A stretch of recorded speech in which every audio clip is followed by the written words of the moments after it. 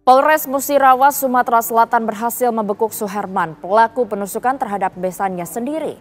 Pelaku ditangkap di wilayah Bengkulu, sementara itu jenazah korban telah dimakamkan pihak keluarga.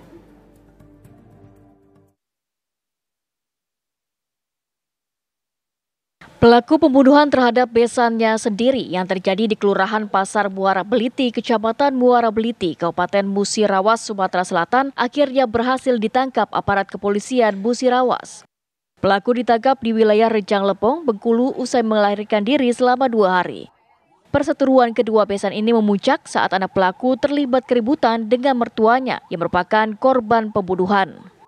Usai keributan dengan mertuanya, sang menantu mengadu ke orang tuanya Akibat gelap mata, sang besan langsung mendatangi rumah besannya hingga akhirnya terjadi pembunuhan. Jadi waktu pertunangan itu sudah ada perselisihan paham. Ini antara korban dengan pelaku.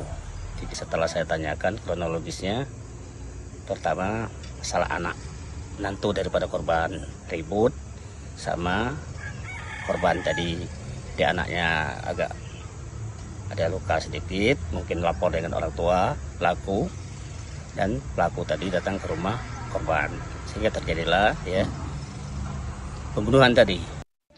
Polisi menjelaskan korban meninggal dunia akibat terluka di bagian leher, tangga, dan perut. Keributan sendiri antara besan ya Pak ya? Ya, nah, antara besan. Antara besan ya. Namun untuk motifnya secara jelas kita belum begitu. Belum masih tetap mendalam itu ya Pak? Ya, untuk dokter untuk dilakukan secara medis.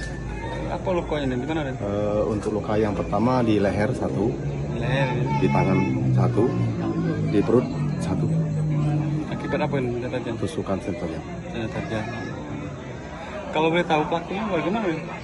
Pelakunya warga sini satu satu satu tempat berpelang oh. satu dua tiga rumah. Hingga saat ini Polres Musirawas masih melakukan pemeriksaan terhadap pelaku dan juga saksi. Sementara itu korban usai dilakukan visum di rumah sakit telah dimakamkan di TPU setempat. Dari Musirawas, Sumatera Selatan, Rudi Rediansyah, TV One mengabarkan.